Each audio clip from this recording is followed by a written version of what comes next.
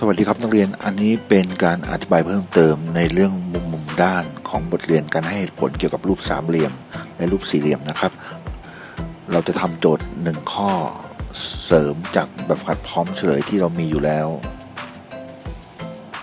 ในข้อนี้นะครับ ขออนุญาตอธิบายแบบนี้นะครับ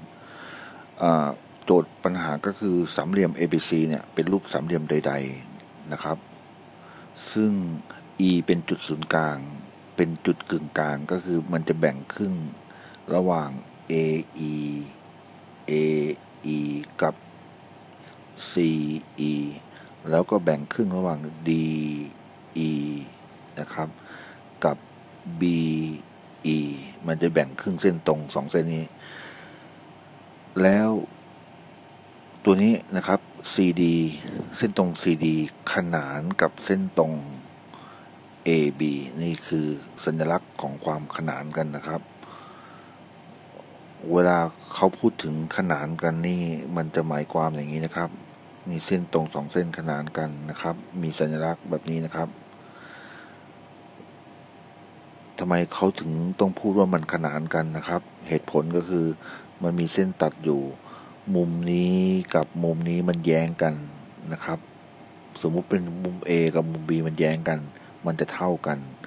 หรือสมมุติว่ามุมนี้เป็นมุม C นะครับ A บวก C ก็จะได้ 180 องศา อันนี้เป็นคุณสมบัติ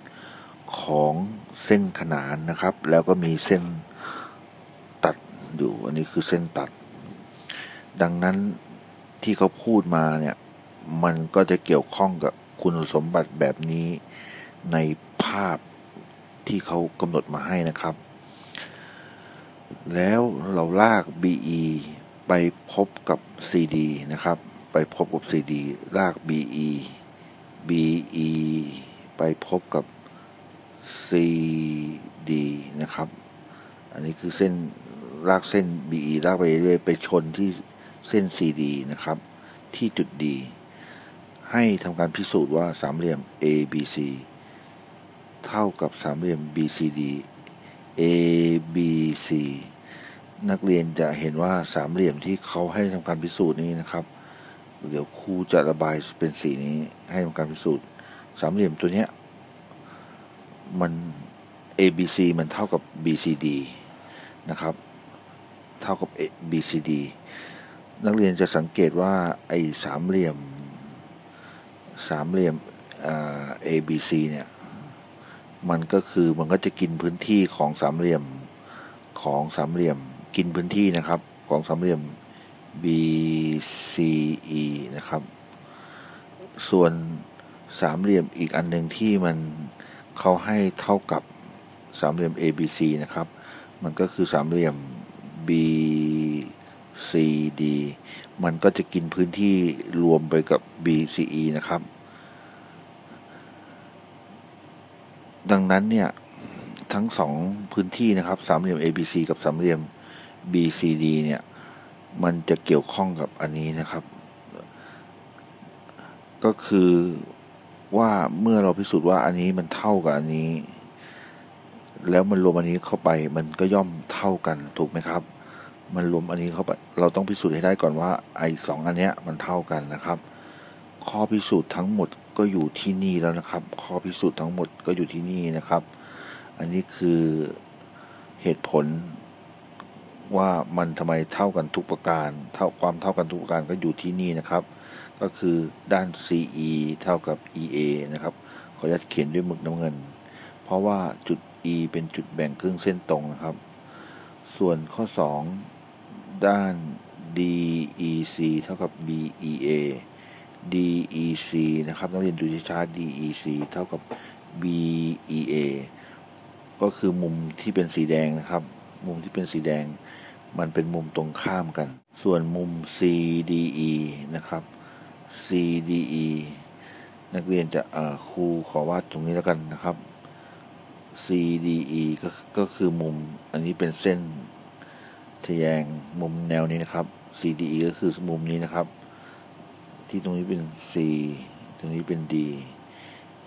แล้วก็ CDE นะครับ E ก็คือจุดนี้นะครับ CDE จะเท่ากับมุมอะไรครับ มุมนี้นะครับ อันนี้ก็คือเอ่อ sorry จะเท่ากับมุมสี่มุมเนี้ย เมื่อลากไปยาวๆไป มันก็จะเจอเจออีกเส้นหนึ่งเจออีกเส้นหนึ่งนะครับอขอโทษครับ ขออธิบายข้อสามนะครับ ข้อสามก็คือ CDE เท่ากับ ABE นะครับ ซึ่งมันเป็นมุมแย้ง ครูก็ได้จำลองภาพมาเป็นภาพนี้นะครับ เพื่อให้นักเรียนมองเห็นง่ายว่ามุมดีก็คือมุมนี้นะครับ มุมนี้ ส่วนมุมมุม B นะครับ อันนี้ครูเขียนอย่างนี้ก็ได้ อันนี้ผิดลบ อเค อันนี้ก็คือมุมทำไมครับ มุมสองมุมนี้มันแย้งกันนะครับ มันก็คือเหตุผลว่าทำไม CDE เท่ากับมุม A ABE นะครับ เสร็จแล้ว เราก็ได้คำตอบแล้วนะครับ ได้ความเท่ากันทุกประการแล้วนะครับ นักเรียนครับอย่าลืมนะครับ อันแรกนี่เกี่ยวข้องกับด้านที่มันเท่ากัน อันที่สองนี่มุม อันที่สามมุม ก็คือมุมมุมด้านนะครับ เราจะพูดว่ามุมมุมด้านนะครับ ซึ่งด้านมุมมุมก็ได้นะครับ ซึ่งอันนี้ก็คือความเท่ากันทุกประการทำให้สามเหลี่ยมสองรูปนะครับ CDE กับ ABE นั้นเท่ากันทุกประการ เสร็จแล้วจากที่คุณครูได้อธิบายตอนต้นว่าสามเหลี่ยม ABC กับ BCD เนี่ย มันจะรวมสามเหลี่ยม BCE เข้าไปด้วยนะครับ เราก็